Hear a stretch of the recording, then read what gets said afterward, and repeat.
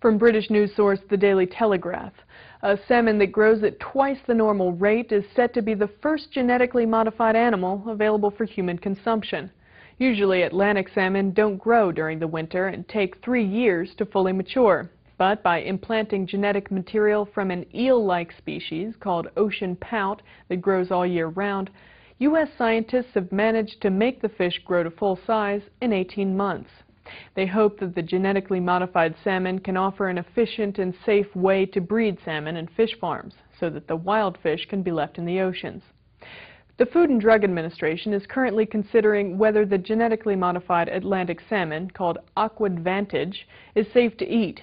The fish could be on a supermarket shelves within a year. But environmental and public health advocates are concerned about whether it's safe for humans to consume and fear that the genetically modified salmon will mutate in the wild and be able to breed. Aqua Bounty, the Massachusetts company behind the salmon, claims the fish will be sterile and therefore poses no risk to the wild.